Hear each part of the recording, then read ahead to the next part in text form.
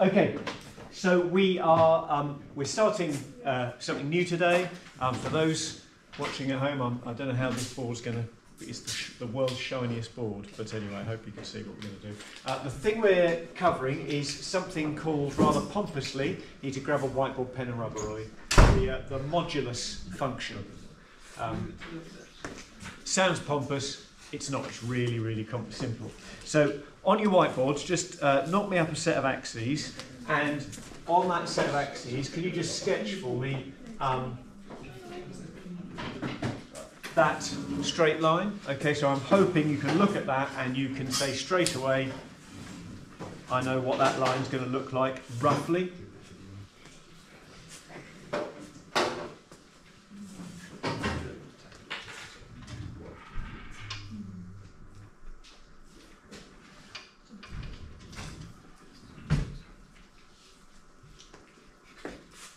Okay, so I'm hoping you've drawn me a line that goes through minus 5 on the y-axis and is quite steep.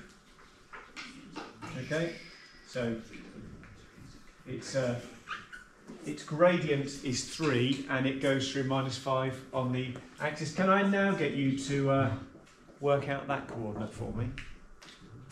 So work out where it, it's obvious where it crosses the y-axis, but where does it cross the x-axis? Remember what's true at everywhere along the x-axis.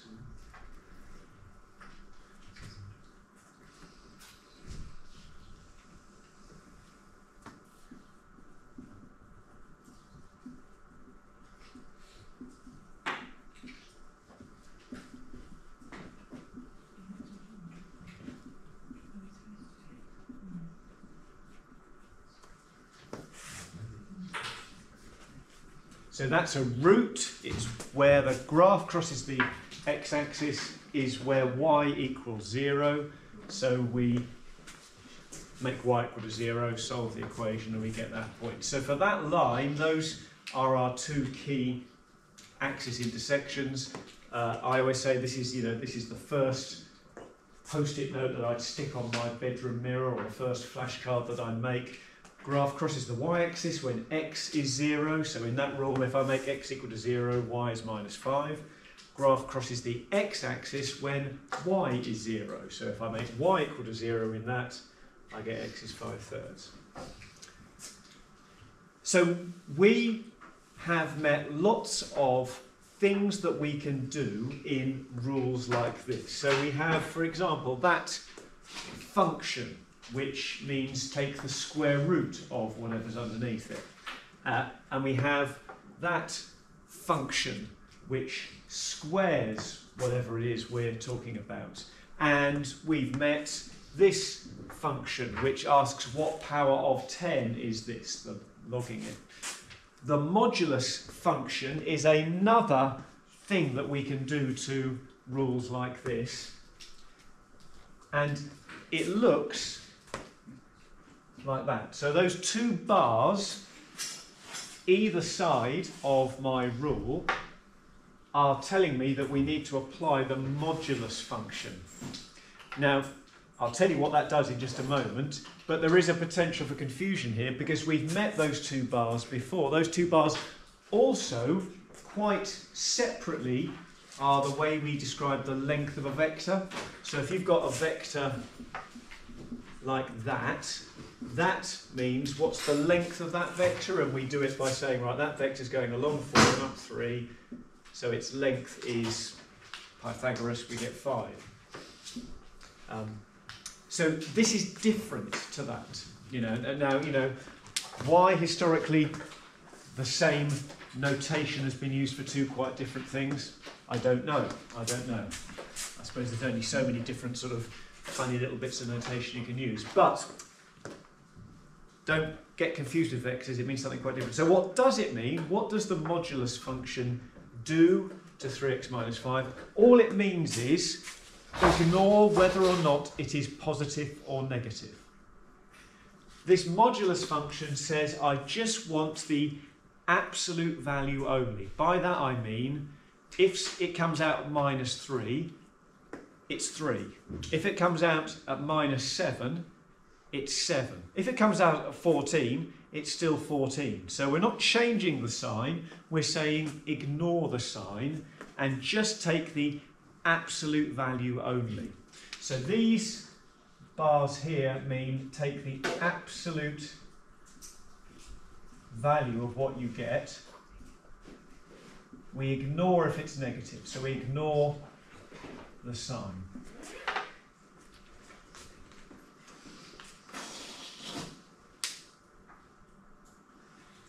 And that can be used in algebra yeah, on its own, not in the context of graphs. But in the context of a graph, what effect is it going to have on the graph that we've already drawn? If we're saying the y value is just the absolute value of 3x minus 5, we ignore whether it's positive or negative. Arthur, what effect is it going to have on the graph?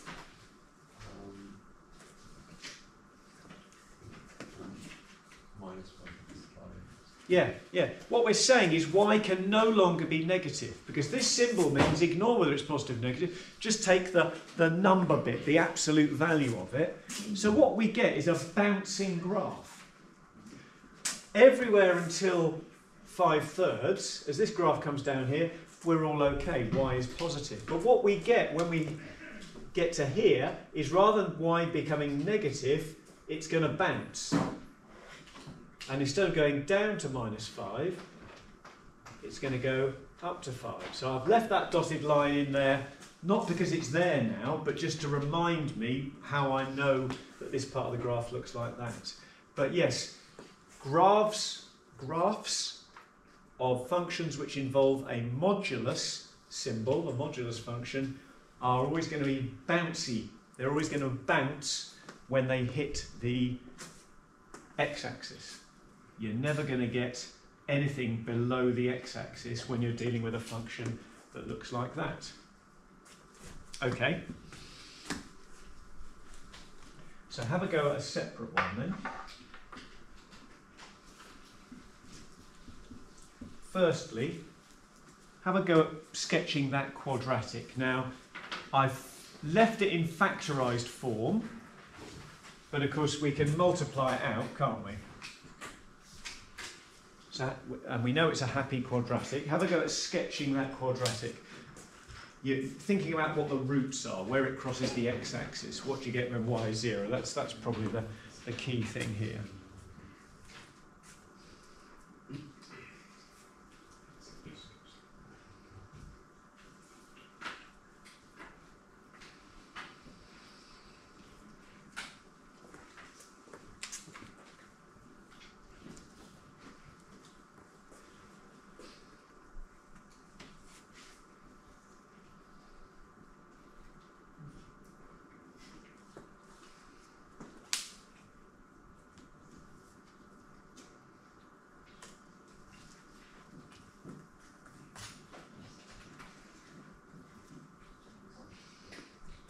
So I'm hoping you've realised that what we've got here is a quadratic with roots at x is 0 and x is 3.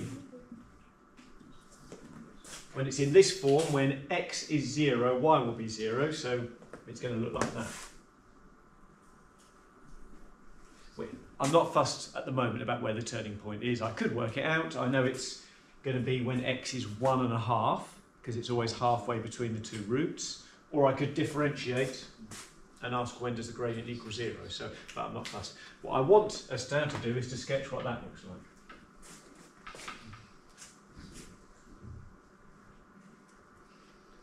So go and have a go. See if you can modify your sketch.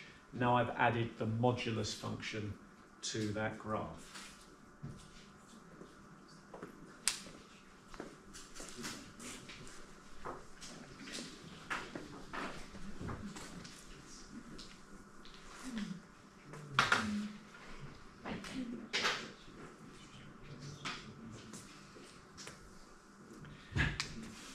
Well done if you bounced it. Okay, so it looks normal here and normal here, but here it's just a reflection in the x-axis because it's never going to go below the x-axis. y is never going to be negative. Okay.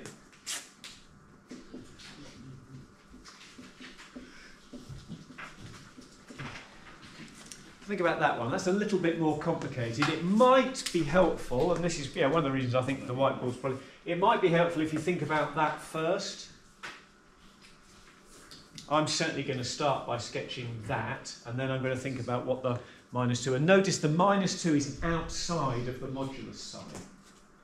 The minus 2 is outside of the modulus sign.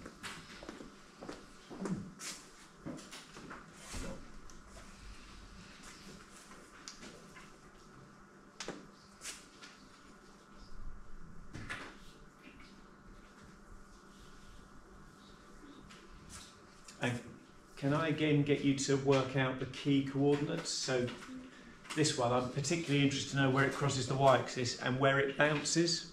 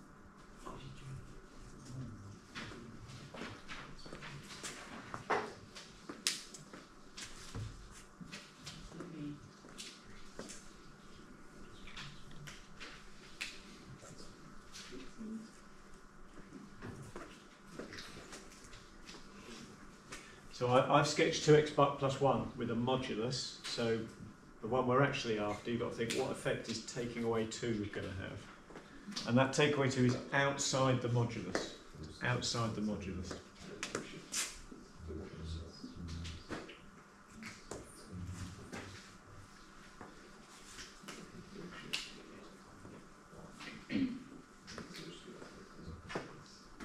So Taking away 2 from the whole function will bring the whole function down. All right, that's different to replacing x with x minus 2, which moves it that way. Taking away 2 from the whole function moves the whole function down. So this is what it looked like before the takeaway 2. So now it's going to look like that. And that point there, which was minus a half 0, will now be minus a half minus 2. Didn't you just tell me that these graphs never go below the y-axis? Well, this graph doesn't, but if you subtract 2, then it does pull it down below the y-axis.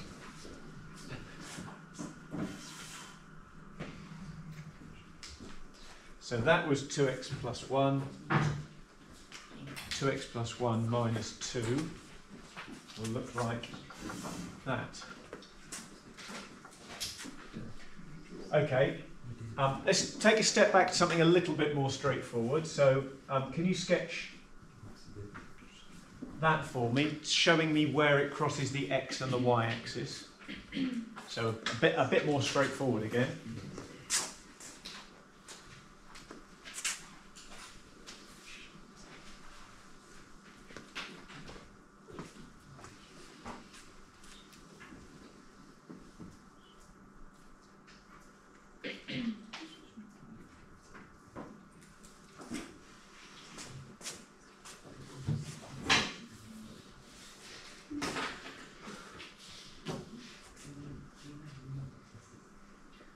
Didn't ever use a visualizer? Camera.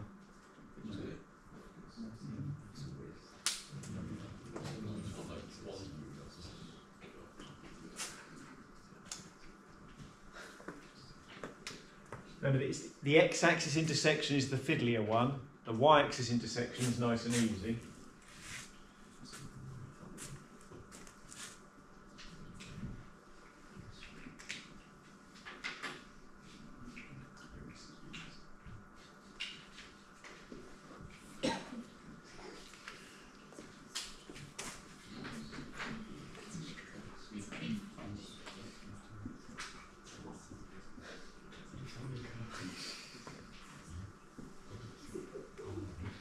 Um, the, the dotted line is very much not part of the graph. I, so really, if the question in an exam said draw this, then I wouldn't leave that there. But I'm, I'm just showing myself really, reminding myself how I've got here.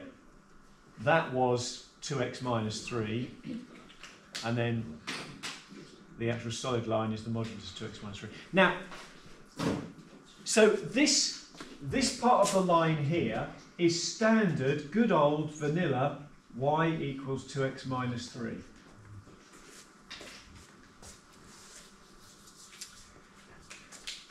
The bounced part of the line, if you held a gun to my head and said, what's the equation of that line?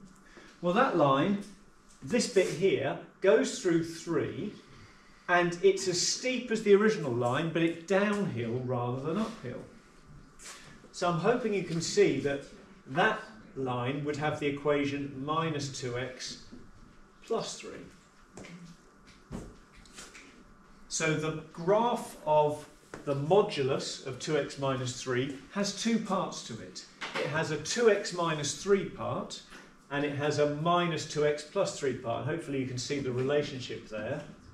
Just been multiplied by minus 1. And when does it switch from one to the other? Well, it switches at this point here that crucial x-axis intersection which we get by working out when y is 0.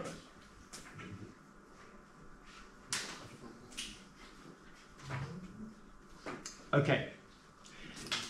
Now, if we went to a rubbish school, we would be stuck doing this manually, but of course we've got a calculator that will do this for us. So let's just make sure we know how to plot this uh, graph. So if you turn on your calculator and get it into graph mode,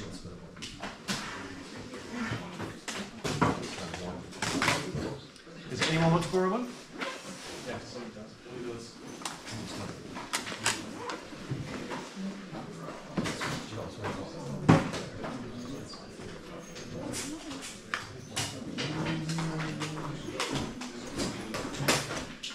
Okay, uh, so with, without a visualizer, I'm uh, a slight disadvantage, but you get yourself into graph mode, so it's waiting for you to type in the rule.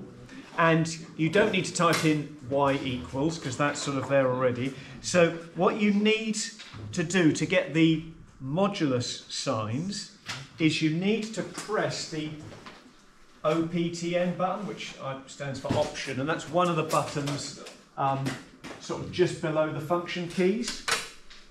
And when you, so it's next to the shift button, and then when you press that, one of the options that appears along the bottom is numeric. If it's not, you might have to press the right arrow key to get to the second page, but um, it should say numeric is one of those. And this calculator refers to what we're doing today as the absolute value. So you should find ABS, abs, is it's nothing to do with uh, press uh, sit-ups. It's um, it's absolute value. And if you hit that button, you should find you get your little bars appear. And at that point, you can then just type in your 2x minus 3 um, in the. Uh, so just just see if you can get that to work.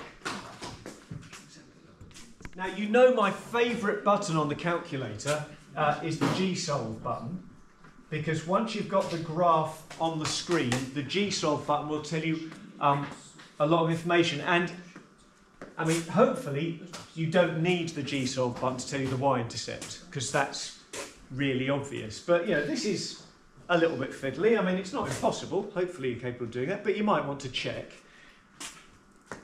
Choosing root, well, certainly when I tried it on my calculator, choosing pressing G solve and choosing root didn't work. Um, it said um, no, no value. So I, I, I, clearly there's something about the way it's working out the modulus which get, it gets upset about. So I got that point by choosing min. So I hit the G solve button and then selected minimum. Did root work for you? Oh, right. oh well, there you go. Uh, if you get root to work, that's brilliant. I did. I wonder why I did that. Uh, min, min also works. So if you want to know where that bounced bit is, and, and that's a, often a crucial point in questions, then G-solve, I didn't think Root would do it, apparently Root does, at all minimum. You know, this is not the hardest sum in the world to do, but if you're not sure and you want a bit of reassurance, then uh, that, will, uh, that, will, that will tell you.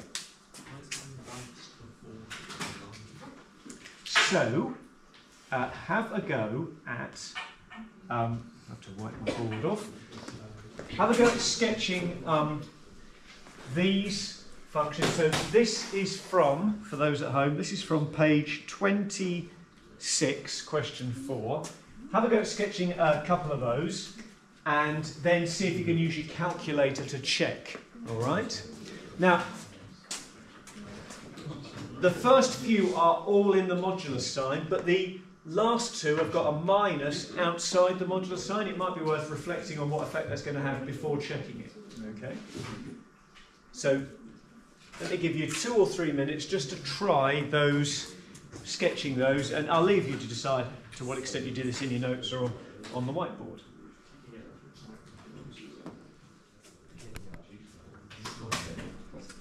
Um, so for for 7 minus x, I can't cope with that, so I always rewrite it. And, and this is a trick which makes so many things, not just modulus questions, but so many things much easier. If you rewrite it as minus x plus 7, then it's obviously something that goes through 7 with a gradient of minus 1. So it's going to look like that. And, and that point is 7. So when you get that, rewrite it like that, minus x plus 7. And, and obviously the same is true with uh, 6 minus 4x. Do you want to just finish off the one you're doing, and then we'll move on? So with, um, with g, the modulus of x looks like this. The y equals x line is, is that diagonal line, so the modulus of that just bounces at the origin. So multiplying everything by minus 1 just makes all those positive y values negative. So that's why that graph, g, looks like that. So although the modulus sign can never be negative, outside of that, you can get things which could potentially turn it negative. So, so what? So what? Um, well, I've, I've good news and bad news. Um, the, good news is that um, answers involving modulus are generally fairly straightforward to answer, so it's, it, they're not complicated. The bad news is they rarely involve, or they rarely in the question mention anything to do with graphs. Okay? So when you encounter a question using modulus, it will almost certainly be in the context of an equation that uses somewhere in it those bars. So we're going to look at how we can use graphs to solve equations that use the modulus function.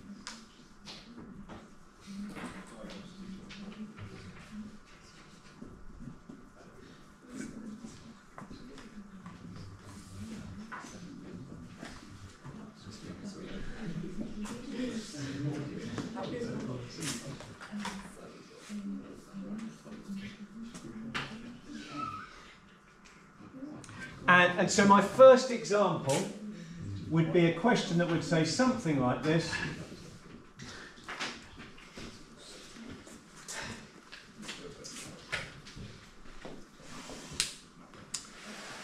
So no mention of a graph, no mention of a graph at all, but the fact that you've got that modulus function there in that question, I'm hoping that you'll think right, I'm going to solve this with a graph. Now, there are algebraic ways to solve this, but I think the graphs are so much easier.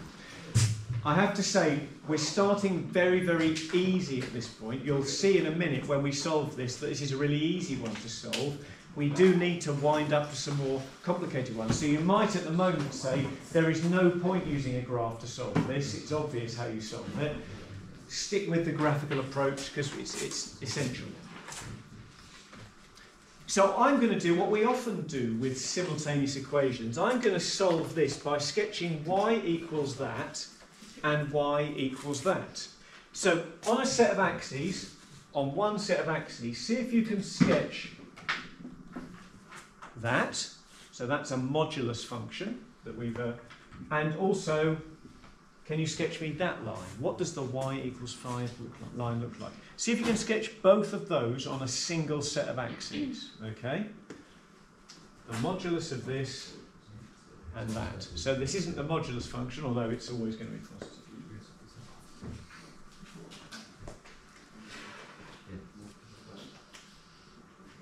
And again, work out that key x-axis intersection.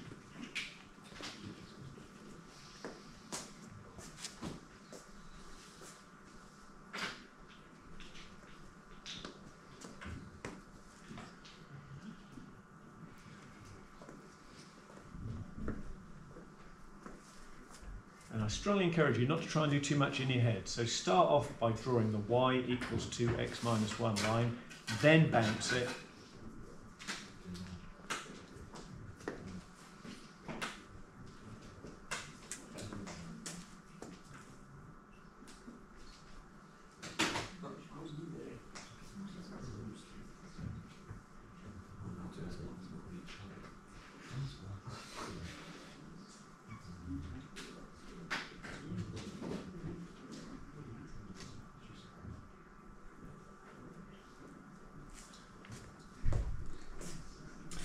Apologies for my axes not being to scale.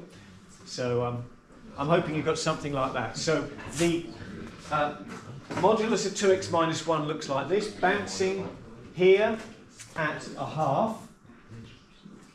And the y equals 5 line is just a horizontal line that joins up every coordinate where the second number would be 5. So 0, 5, 1, 5, 2, 5, 3, 5. And hopefully you realise, therefore, that the solutions to my original equation are where the two graphs intersect. So the solutions to my original equation are found where the two lines intersect. And this happens twice. We've got an intersection here, I'm going to call that intersection A, and we've got an intersection here. I'm going to call that intersection B.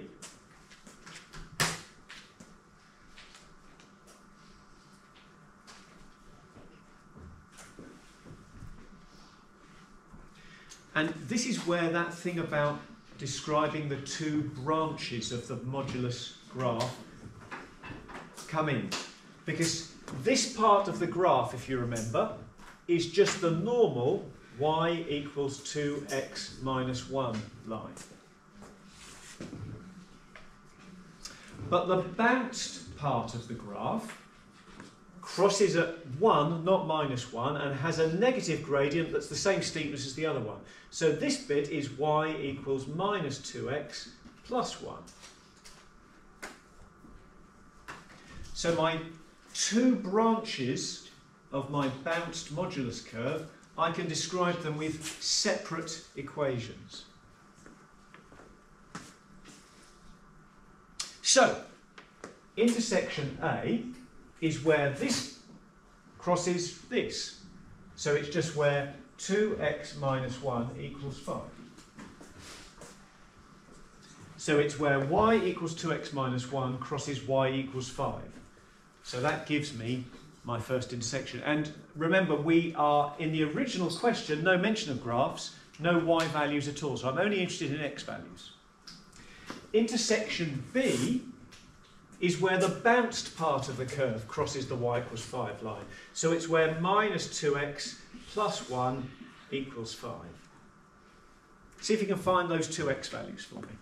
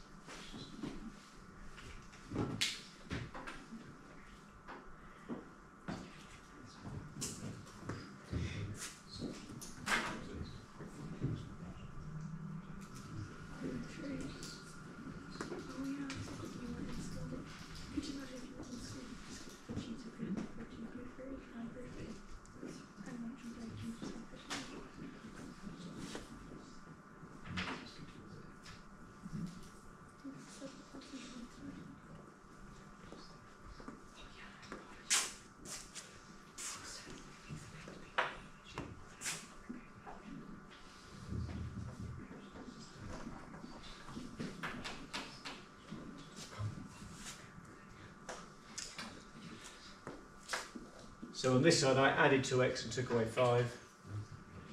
x is minus 2. Well, that makes sense from the graph. That looks about right. And x is 3. Yeah, that makes sense from the graph. So those are my two solutions to the original equation. Now, you, you might be saying at this point, well, I, now you've shown me that, I don't need the graph. It's always just going to be the positive version of the graph equals 5 and the negative version of the graph equals 5. Well, okay, yeah, you're right. With simple equations like this, that will be true. We get more complicated. So I think it's still worth doing the graphs at this point because we actually end up doing far more complicated ones where, where this is algebra or maybe even another modulus function. So, you know, we're starting nice and straightforward. But I still think the graph is useful so I can check my answers are reasonable. You know, so it was obvious that A was going to be positive and B was going to be negative. If I made a mistake and got two positive answers, then hopefully I'd go back and check. And, and of course, you can use your calculator to check this. So you can sketch that and that on the same set of axes, G solve intersection, it will confirm the answers. So this is the first place that we are likely to come across the modulus function. Not a question that says sketch the graph of, but a question that makes no mention of graphs and just asks us to solve an equation. And we are doing that through the medium of graphs. And just for today, humour me and stick with the graphs. I, I know, you know, you could say, well, it's really obvious we don't need the graphs, but I'm, I'm saying just humour me just for now. Uh, so let me get you to do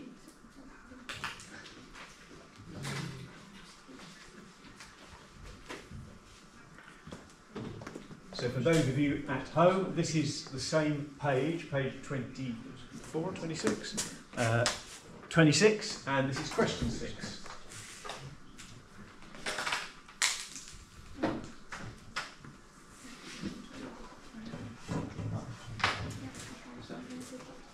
And um, I suggest you go for quality, not quantity, so I could show you the answers, but why not use your calculator to check the answers? Um, the only thing I will say is when you come to B, I'm going to rewrite B as a half of x minus 5 over 2. So, so that's, when I come to sketch y equals that, that's what I'm going to sketch.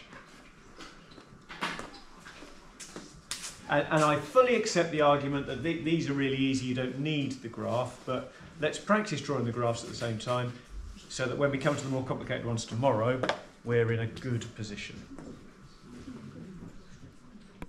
Um, with B, I found it much easier to sketch it looking at it like that. Um, it was when it equals 1, which is below that point there. I mean, it, it doesn't really affect the working tool, but I think it's good to get the graph correct. So I've called that intersection A, that's when that equals 1. Intersection B is when the negative version of that graph equals 1. First thing I'm going to do in both cases is to double everything. Makes it all much easier. Oh, sorry.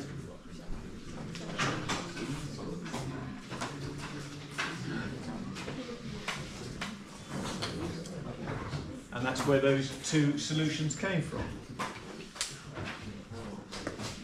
Right, so we'll leave that there. And this gets a little bit trickier tomorrow.